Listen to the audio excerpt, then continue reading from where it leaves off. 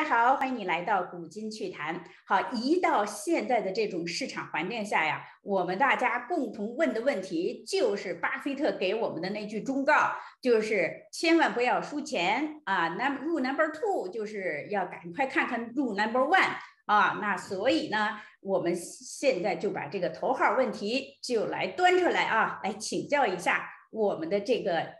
呃，speaker 哈，呃，中小企业管理顾问孙大伟，好，大伟请教一下哈，怎么才能不输钱呢？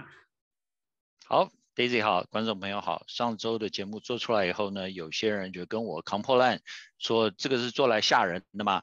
好，那如果你觉得上周的吓人，那这周的就更吓人，因为经济讲完了以后来讲股市，股市呢，并不是一个人人都能赚钱的地方。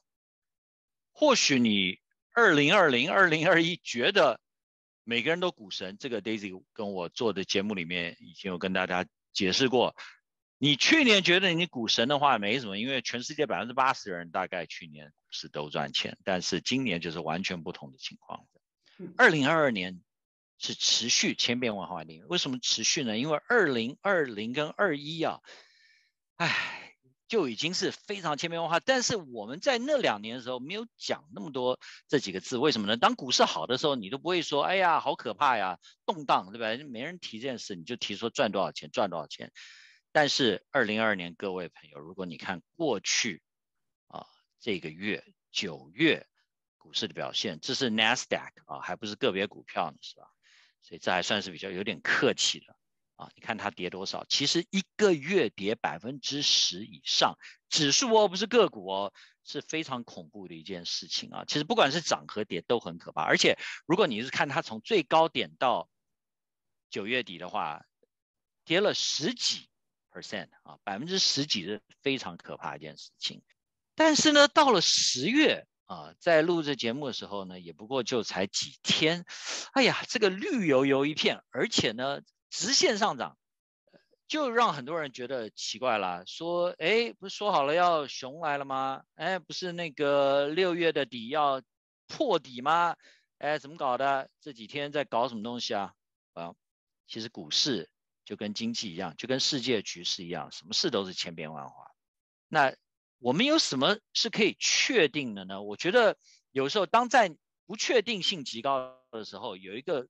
这个叫做 exercise 啊，就是有一个有趣的一个呃思考方法，就是你想想看，你到底对什么事情非常确定？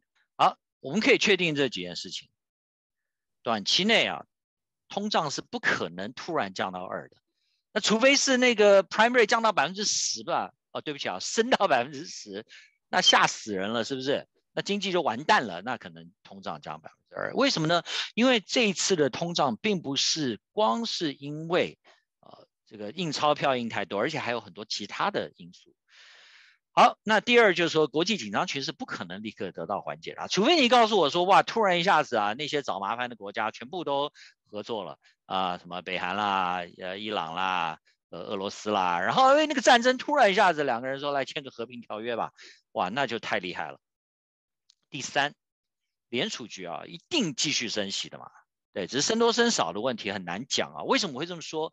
有些人斩钉截铁说：“哎呀，十二月一定三嘛，呃，十二月一定二嘛。”我告诉你，其实都很难说。为什么呢？因为现在美金啊涨的已经让美国人都有点受不了自己的货币太强。为什么呢？你要知道，美国是全世界第二大出口。你知道你在美国的话，你都不会想这件事情，你就想说你花的就是美金嘛，是吧？然后你出国也是花美金的感觉。但是美国其实是严重依赖出口的，从我们加州的科技产品到我们加州的软件，哎，不要忘记啊，软件也是出口的，到我们加州的水果，是吧？你如果美金涨到某个程度的话，那个没有人吃美国水果了。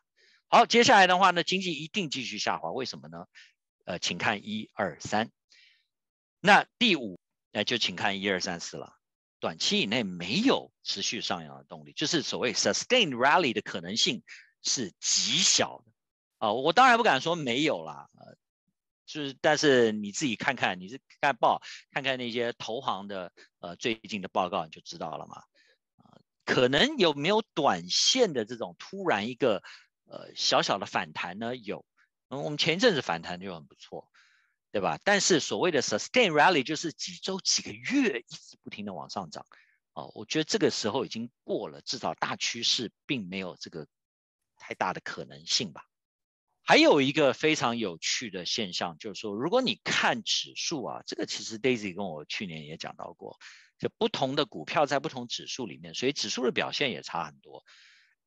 Standard Poor 500、S&P 500居然跟 Nasdaq 跑在一起，哦，我说哦，对不起，我还真不是 Nasdaq 了，我今天还特别抓 QQQ 给大家看了，我说这是什么时代了哈？那就比方说啊，S&P 500其实已经太多的股票。都是那个 QQQ 的这种大科技版的啊，所以呢，它动的基本上是一样了这两个指数。可是你看道琼斯啊，哎，其实如果道琼三十并没有这么差，它当然也是差了，当然是跌了不少啊，但今年真的没有跌太多。所以你要仔细看看你自己的投资组合，如果你全部都是 QQQ 那种股票啊，或者是更呃。aggressive 的更这种所谓的高速成长股的话，就是高速叠价股，呃，你就会觉得说，为什么我跌那么多呢？我要因为你的这个 portfolio 啊，你账户里面大概不多那个刀就那种股票是吧？那如果你看个股的话，更是啊吓死人啊！看过去这一年十二个月里面，你说那个 S M P 啦，算是很惨了，对不对？十五点六二。percent 百分之十五多算是很厉害了。我如果随便挑几家，这些股票还算是好的呢。啊，Firm、Roku、Palantir 啊，这 Virgin Galactic，然后那个 QuantumScape 啊，随便挑几家各个行业的一些代表性的股票，就是前几年涨得很多的。你看它这跌了多少？如果你有这些股票的话，你当然是跌得很重。那这个看这种图表的用意在什么呢？就是告诉你说啊。真的不是你的这个，你说我的股票跌太多，不是，这是你选到那些跌多的股票嘛？对，不是股市的错啊，而是真的看你就选什么股票。如果你就扒的指数的话，也不会那么惨，是吧？好，但是呢，那个当然就是适合事后诸葛亮啊，讲的都很漂亮。那我们就看看未来的前景。今天节目呢，大伟没有打算教你怎么赚钱。你说没有打算赚钱的话，看着干嘛？白看半天。不因为在这种市场，就像 Daisy 刚刚说的，啊，不赔钱就是赚钱，所以你千万不要相信这些这些话。不仅是别人会跟你讲，而且你有时候自己会告诉你自己，你说，哎，那些高成长公司总有回头的一天吧？那你就回去 .com 看一看，因为我上一个呃这个投影已经给大家分享过这个很重要的一个概念，就是说，是不是有一点那个 .com 的味道？科技股，特别是高成长科技股。被修理的特别厉害。那如果是 dot com 的二十年前的事再重来一次的话，你就知道当时有很多公司就没有回来了，那就跌啊，再跌，再跌。你现在去看的话，很多这些公司现在还是三块、五块、十块。哎，我可以在高动荡的市场中 day trade 啊赚钱。如果你真的非常相信你 day trade 可以赚到钱的话啊，那我就恭喜你。呃，然后也请你在。这个视频下面的评论区里面告诉我，day trade 可以赚多少钱啊？因为 day trade 实在是不太容易。大部分我认识的人呢，我真的是有认识的人做这个日内交易可以讨生活的，但是绝对是少数人，而且不容易。好，接下来就说 election rally 或 Christmas rally。我最近开始听到有人说，哎呀，大选年怎样怎样怎样啊，圣诞节来了怎样怎样怎样。我告诉你啊，过去有太多 Christmas rally，有两个特点。第一个，就它不一定是在 Christmas 发生，它可能十一月就跑完了。然后你如果还抓住的话，十二月跌死你。啊也可能说它十二月的时候呢，是等到 Christmas 过完以后，最后几天给你涨一点点，是吧？有些 Christmas rally 涨个三五 percent，那但是那个媒体啊就渲染一下，说哇，你看圣诞节来了，大家心情好啊什么的。呃，千万不要相信这些东西啊！还有最后一个最可怕的一件事，做空就可以赚大钱。如果你今年初跟我说这话的话，如果你真的有那个胆的话，我就说好，那你就做空吧。那大伟也是，大伟其实年初就开始做空，但是胆子不够大，呃，赚到一点就跑了。要不然的话，现在就三倍、五倍、十倍，可能是在大溪地或者是那个马尔蒂夫跟各位做这个节目，但是很不幸的还是在我南湾的家里。如果你现在跟我讲说你要靠做空赚大钱的话，我就不知道你是怎么想的。为什么呢？因为已经跌了很久了，而且接下来跌的话，会不会突然一下跌很多？当然有可能，是吧？但是我觉得像目前最近这个震荡盘比较有可能，所以你的那个心脏要非常的强，因为有时候你如果碰到像这一周，啊，你就会吓死了，因为你的空的啊，我不知道是不是因为在那个。呃，short covering 啊，就是说有做空的人在在补股票啊，呃，但是我觉得你真的要非常注意，如果你胆子真那么大的话，那我也请你在留言区呃跟我们来讨论一下，看你做空的这个策略是什么，我很想跟你学习学习。好，那今年的非常重要的再强调一次，就是说你千万不要相信这些在牛市的时候啊觉得很容易的事情，因为现在已经不是那个牛市了。最后的这些忠告哈，真是个个啊，真是可能是有血淋淋的现实哈。呃，这个买来的这些忠告，这也是很多人存在的一些迷思。其实我看到了这里啊，其实是有投机的心态加投机的行动。但确实我听到过很多的人不知道被什么口号洗脑了哈，就是说哦，还是会回来的。啊，当然，刚才你提到的第一点就是说，这个高成长公司，当然它是说市场还是会回来的，所以呢，就很多的人，呃，该干嘛干嘛，呃，该看自己的账户，呃，四零一 K 继续的不看，从来不管不看不问不闻不问啊，还有一些人就是，呃，它跌了就是继续让它跌着啊，就是说，哎，市场还是会回来的。